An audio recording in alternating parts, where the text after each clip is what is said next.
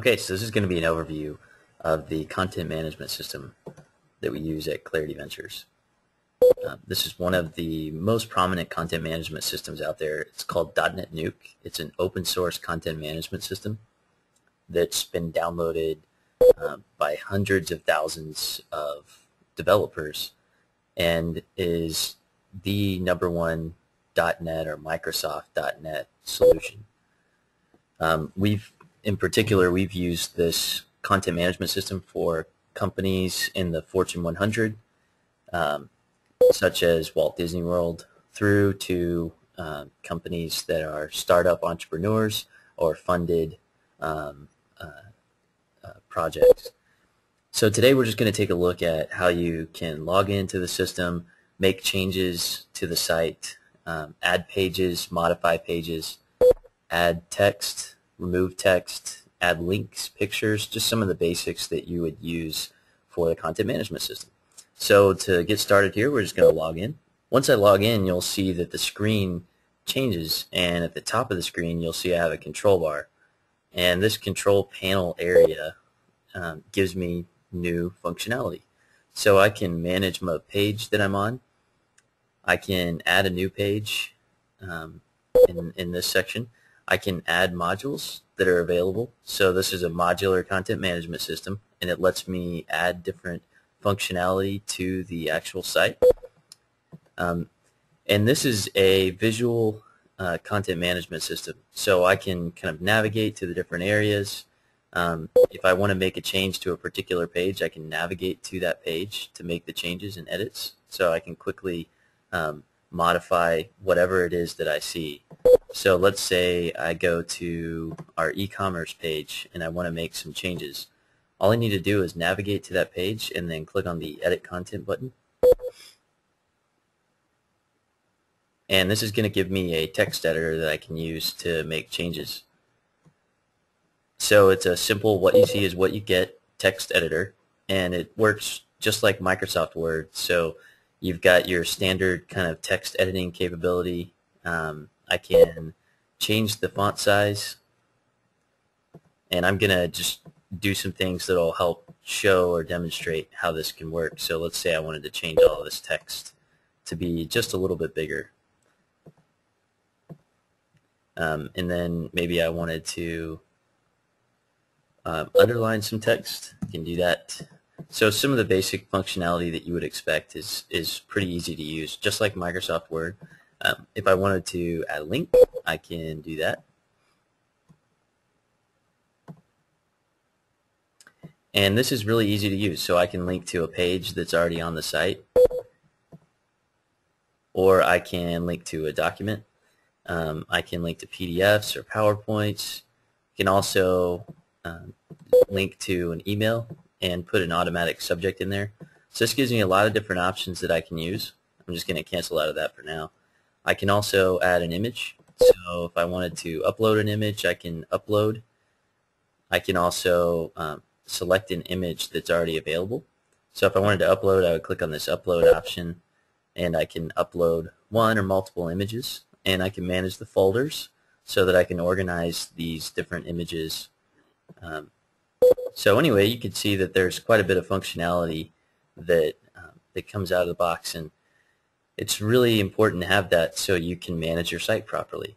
So we, you know, we want to make sure you've got access to all of these tools so that when you do want to make a change, uh, it's easy to do. Clarity provides written documentation in a PDF format as well as video training for you uh, before we take your site live. So we make sure that we've given you access to the right tools to be able to manage your site. We also provide a hands-on training for you and anyone else on your team, and we can record that and provide it as just a uh, reference point that you can send to your team. So we can provide a recorded video of the training that we provide for you before we take the site live.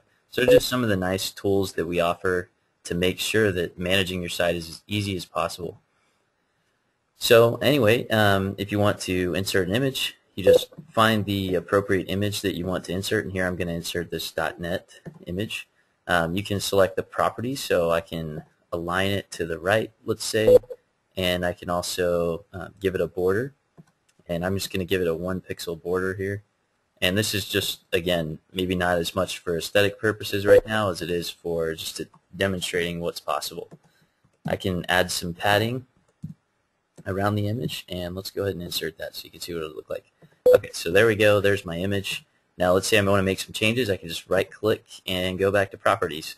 So maybe I want to align it. Um, I can change the um, the border. I can change just any of the settings for that particular image um, if I if I need to to uh, to change where it's positioned on the page.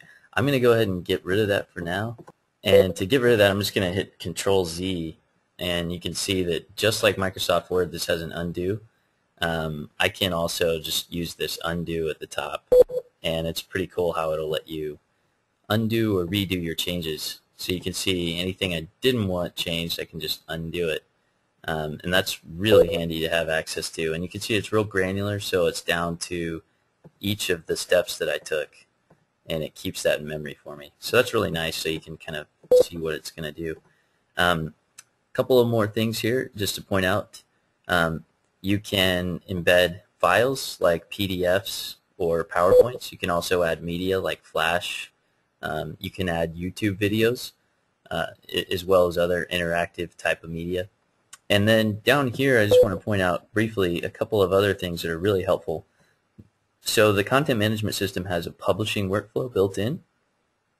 So before you publish so that the public can view a change, you can uh, save your changes, show it to your team internally. Uh, we can run a workflow around this so that it goes to a site administrative uh, kind of uh, point person, and that person can approve changes before they are published.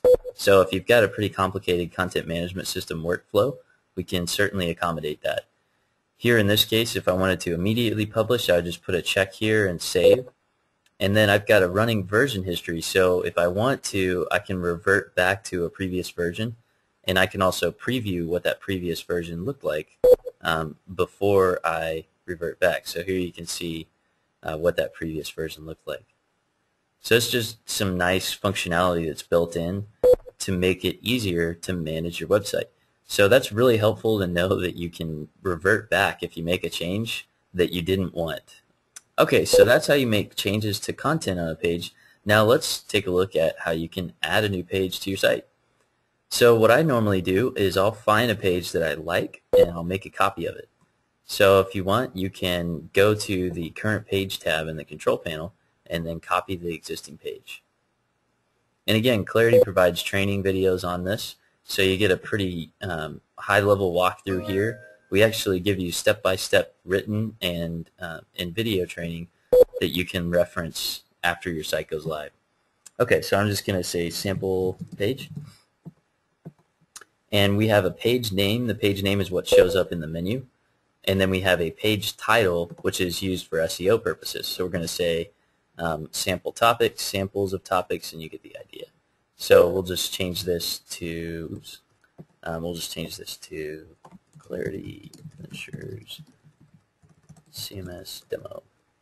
Okay, so you can see that I can do some SEO work. I can put the description and the keywords, uh, and then finally, as you come down here, we can do some pretty detailed things. And without getting into too much detail, we'll just cover that you can set the parent page you can specify anywhere in the menu that you want this particular page to go.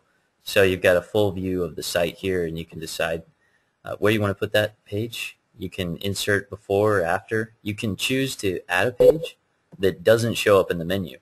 So that's really handy if you've got maybe a specific landing page or maybe an internal page that you just want a handful of people to have access to. You can also set the page to be viewable by the public or only by administrators. Um, you can also give specific roles or specific users access to view or edit the page.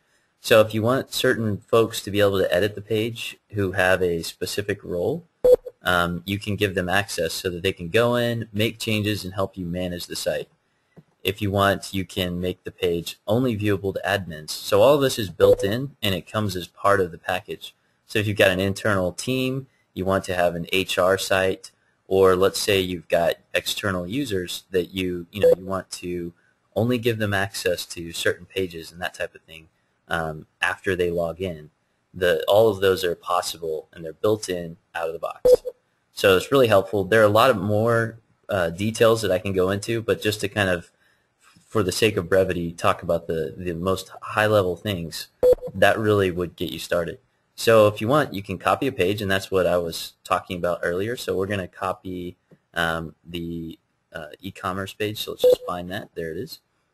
And whenever I do that, it gives me all the modules that are on the page that I can either copy or reference.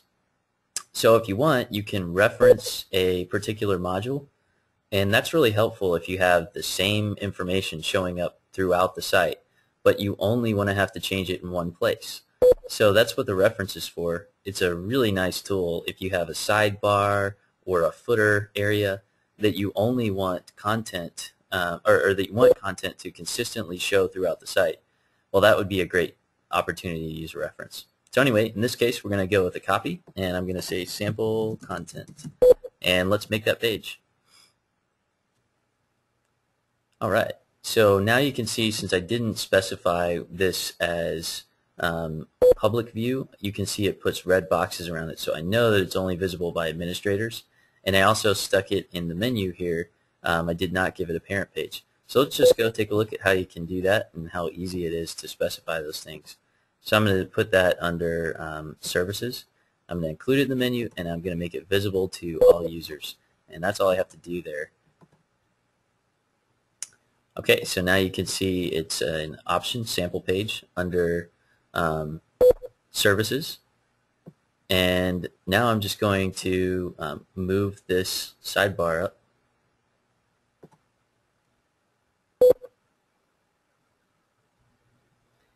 And then we can make changes to the page. So it's as simple as that to add a page to the content management system. And you can easily move this around and I'll show you the, um, the page administration view. So here you can see a, a kind of sitemap of all the pages on the site. And if I want to, I can move this uh, sample page around. So I'm just going to move this up and down here.